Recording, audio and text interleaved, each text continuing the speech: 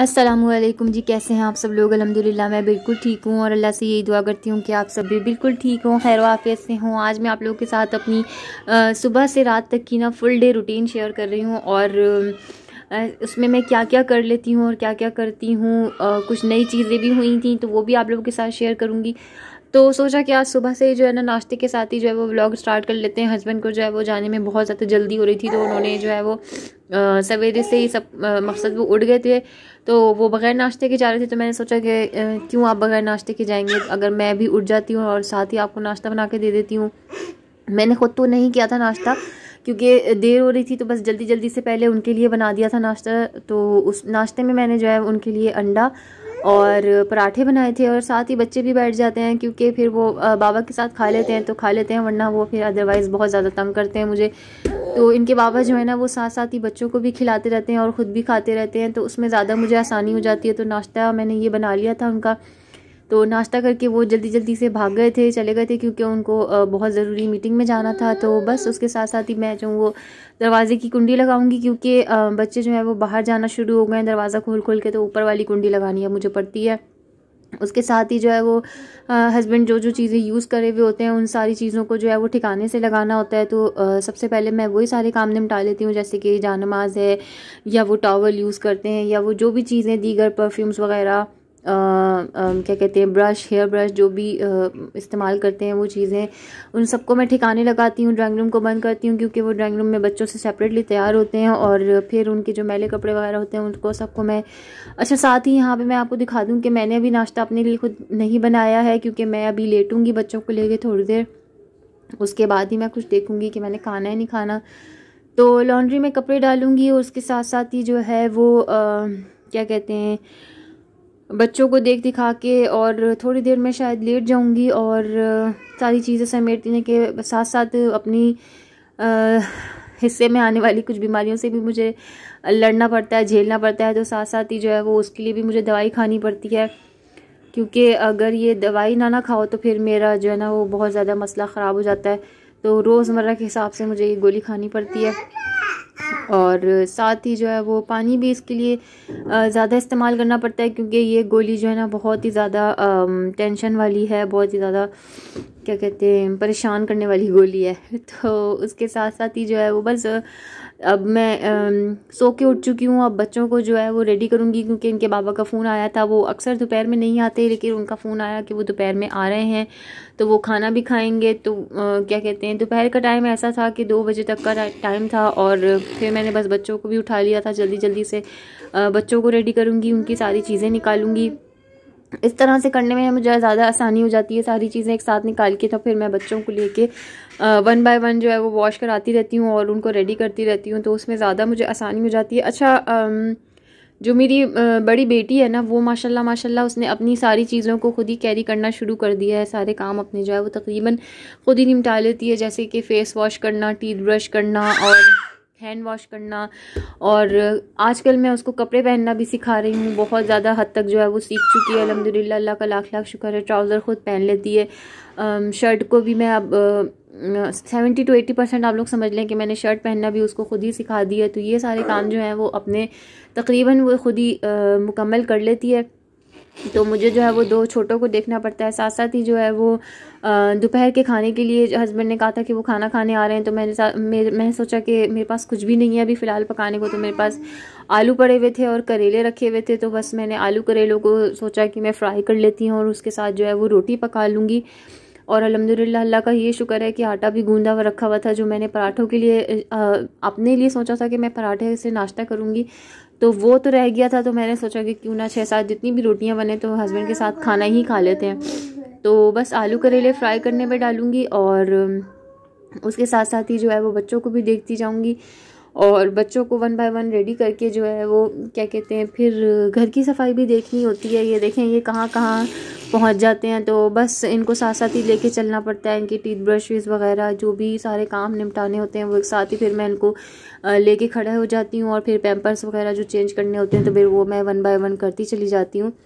और अलहमदिल्ला साथ ही साथ मेरी जो है, वो रोटी भी तैयार हो गई थी, आलू करेले भी फ्राई हो गए थे, और हरी मिर्चें भी फ्राई हो गई थी, और साथ ही साथ जो है, वो मैंने नगर्स भी बच्चों के लिए फ्राई कर लिए थे। क्योंकि फिर बच्चे जो हैं वो ये वाले खाने अगर जैसे करेला टाइप इस तरह की चीज़ें हैं वो नहीं खाते, लेकिन उसमें से आलू बच्चों ने खा लिए थे तो बस खाना वाना खा के जो है, मैं हस्बैंड ने जो है वो पंद्रह बीस मिनट का नैप लेना था। उन्होंने नैप लिया तो उस दरमियान में जो है मैंने क्या कहते हैं, सारे बर्तन वगैरह सब निपटा दिए और फिर उनके लिए चाय भी बना ली थी। और चाय बना के फिर मैंने उनको उठाया था तो फिर बच्चों, बच्चे जो हैं वो उनके साथ चाय पापा खा लेंगे और सारा मेरा काम अलहमदिल्ला ये भी निमट गया।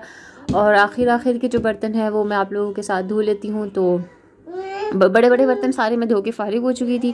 क्योंकि फिर उस तरह के बर्तनों के लिए दोनों दोनों हाथ चाहिए होते हैं आपको तो वो फिर मैं कैमरा इस्तेमाल नहीं कर सकती थी। और वैसे भी जो है, वो मैं खामोशी से इस तरह का काम कर रही हूँ, मैं इतना वाजे नहीं कर रही हूँ हस्बैंड के सामने भी। क्योंकि आपको पता है ना हस्बैंड्स को ऐसी किसी भी बात पे कभी भी गुस्सा आ सकता है तो जितना हो सके हम इग्नोर करते हैं और जितना हो सके हम जो है, वो अपने काम को ना छुप छुपा के कर लेते ज़्यादा बेहतर है। तो खैर, साथ ही मेरी चाय भी तैयार है और अगर आप लोगों को बीच से मेरे वॉइस ओवर के साथ साथ और भी एक वॉइस ओवर मिल रहा हो तो उसके लिए माजरत, क्योंकि ये मेरे साथ ही रहता है, ये मेरी जो है ना ग्लू है, ये मेरी, ये मेरे से पीछे नहीं हटता है, जहाँ मैं जाती हूँ, ये वहीं रहता है। तो अभी मैं वॉइस ओवर करने आई हूँ तो तब भी ये इसी कमरे में आन के बैठा हुआ है। लेकिन खामोश नहीं बैठना, साथ ही साथ जो है ना, शोर भी करते रहना है। तो बस, अब जो है वो घर की सफ़ाई मुकम्मल करेंगे। बच्चे रेडी हो गए हैं अलहमदिल्ला और इसके साथ साथ ही अच्छा ये काम जो इस तरह के सफ़ाई वाले होते हैं ना, जैसे बेडशीट बनाना या बच्चों की टॉयज़ वगैरह समेटना, इस तरह के काम जो है ना, वो दिन में मैं कोई छः से आठ दफ़ा करती हूँ। उसके बावजूद भी वो हस्बैंड के आने के टाइम पे ना मैं फिर कर रही होती हूँ, क्योंकि एक तो ये कि पहला वो घर मुझे भी नहीं पसंद और दूसरा ये कि फिर हस्बैंड आ जाते ना तो उनके पैरों में कोई चीज़ आए इस तरह से तो वो मुझे भी नहीं अच्छा लगता और उनको गुस्सा आए तो इस चीज़ को मैं थोड़ा सा इग्नोर करना चाहती हूँ और करवाना भी चाहती हूँ क्योंकि मेरी तरफ़ से कोई ऐसा मसला ना हो तो इस वजह से मैं साथ ही साथ हर चीज़ को साफ़ सुथरा करती हुई, लेती हुई चलती हूँ, जो बर्तन होते हैं उनको हाथों हाथ निपटा लिया या कोई भी ऐसी चीज़ हो जो फैली हुई हो, वो क्या कहते हैं उनके आने से पहले पहले या उनका मुझे फ़ोन आता है कि बस वो आ रहे हैं तो फिर मैं जो ना वो एंड टू एंड सारे काम निपटा लेती हूँ। और बेडरूम की झाड़ू आप लोग यकीन जाने, मेरे दिन में एक से दो दफ़ा या कभी कभी तीन दफ़ा भी हो जाती है। ये लोग माशाल्लाह इतना फैला फैला के खाते हैं और छोटे छोटे बच्चे जो होते हैं ना तो वो भोरे बहुत करते हैं चूरा चूरा करके चीज़ों को खाते हैं। हालाँकि मैंने एक चादर भी बनाई हुई है कि उस पर बैठ के खाएँ, लेकिन बच्चे तो बच्चे हैं तो हर चीज़ हर जगह फैलती है। मिल के बैठ जाएँ तो और ज़्यादा तूफ़ान मचता है।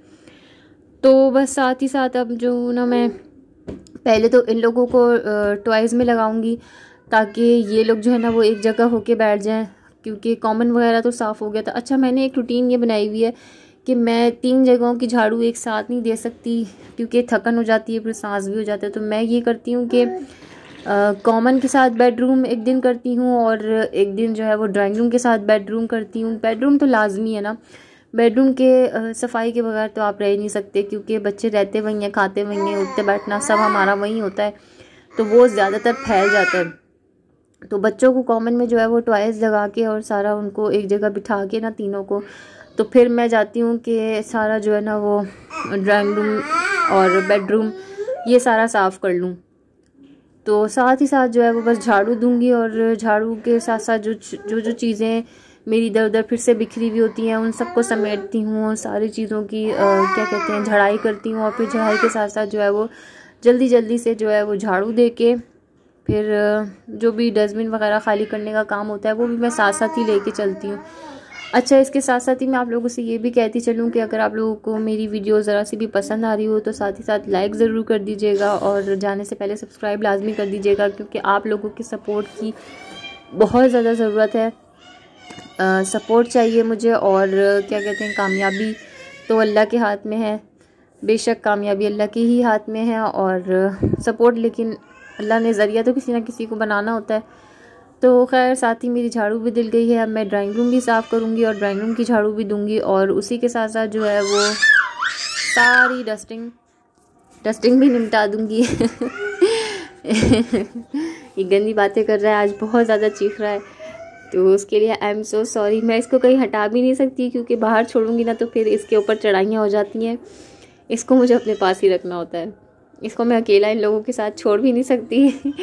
एक बड़े बहन भाई जो है ना, वो इसका कचूमर बना देते हैं। उनके हाथ ऐसा लगता है कि जैसे एक छोटा सा गुड्डा चढ़ गया और वो जो है ना, बस इसकी कचूमर, भुनाई, जो भी कह लें आप लोग, वो सब कुछ इसका कर देते हैं। तो खैर यहाँ पे झाड़ू भी दिल गई है। रोज़मर्रा का आप लोग समझ लेंगे इतना सारा ए, आ, क्या कहते हैं मिट्टी वगैरह निकलती है क्योंकि गर्मियाँ हैं। गर्मियों की वजह से खिड़कियाँ खुली रखनी पड़ती हैं हवा के साथ।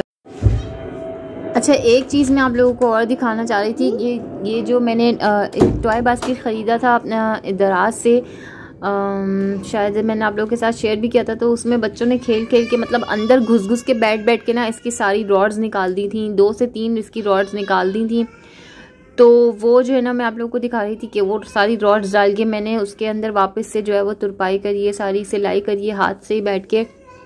और एक मैंने सोचा कि मैं आप लोगों को करने से पहले दिखा दूँगी। देखें, इस तरह से सारी इसकी तार निकाली हुई थी इन लोगों ने और सारी उसकी जाली वाली सब फाड़ दिया था तो उसको सबको मैं सिलाई करूँगी और सिलाई के साथ साथ इसके फ़ौर बाद ही जो है ना, मैंने सारी डस्टिंग वगैरह भी कर ली थी और डस्टिंग के साथ साथ जो है वो क्या कहते हैं, अब इनके बाबा के आने का टाइम हो रहा था तो बस मैंने ये सोचा कि पहले जो है वो इसके बाल वगैरह बना लूँ फिर जो है वो सारी चीज़ें समेटवाती हूँ, इन्हीं लोगों से समेटवाऊँगी और मिल के इनके साथ समेटती हूँ। जल्दी जल्दी से इन लोगों को बोलना पड़ता है, जल्दी समेटो जल्दी समेटो।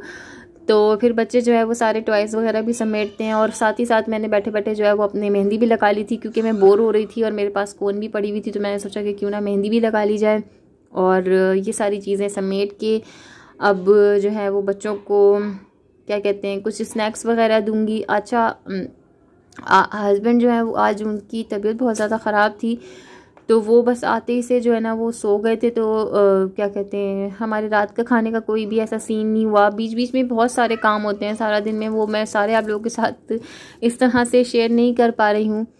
ये देखिए मेरी मेहंदी का कलर भी है माशाल्लाह कितना प्यारा कितना खूबसूरत कलर आया। हालाँकि मैंने मुश्किल से आधे घंटे लगाई थी मुश्किल से। तो खैर बस अब इशा पढ़ेंगे और वही ना बीच बीच में मैं नमाज़ें भी पढ़ रही थी, सब कुछ बच्चों के पैम्पर वगैरह रूटीन के साथ साथ बहुत ज़्यादा टाइम बहुत ज़्यादा दफ़ा भी होती है, लेकिन हर चीज़ के लिए तो आप फ़ौरन से कैमरा नहीं उठा सकते ना। तो बस हस्बैंड आ गए थे, लेट गए थे और फिर मैंने बच्चों को जो है वो खिला पिला के उनकी जो भी चीज़ थी, उनका भूख को जो है वो नमटा नमटू के जो है ना, बस मैंने सोचा कि मैं अब इन लोगों को भी लिटाऊँ। और इनकी ब्रशिंग वगैरह, ये सब कुछ हैंड वॉश फेस वॉश जो भी होता है, ये लोग इनको कर, करा के जो है वो इनको नाइट सूट चेंज करवाती हूँ और फिर क्या कहते हैं, इनको फीडर्स देती हूँ और ये फीडर्स लेके जो है, ये सारे लेट जाते हैं अपनी इधर उधर इधर उधर अपनी बातें करते रहते हैं और फिर ये बातें करते करते दोनों बड़े जो हैं वो सो जाते हैं। छोटू को मुझे खुद सुलाना पड़ता है। इसी के साथ जो है वो मेरा व्लॉग भी एंड होता है। दुआओं में याद रखिएगा। अल्लाह हाफिज़। फ़ी अमान चैनल को ज़रूर सब्सक्राइब लाजमी कर दीजिएगा।